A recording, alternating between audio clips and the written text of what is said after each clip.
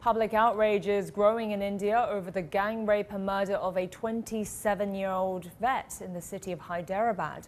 Protesters have taken to the streets demanding justice, with some calling for the death penalty for the criminals. Rape and violence against women remain at high levels across India, despite widespread public anger at high-profile cases. The victim's charred remains were discovered after she disappeared on Wednesday. She was allegedly gang raped by four men who later murdered her and set her body on fire.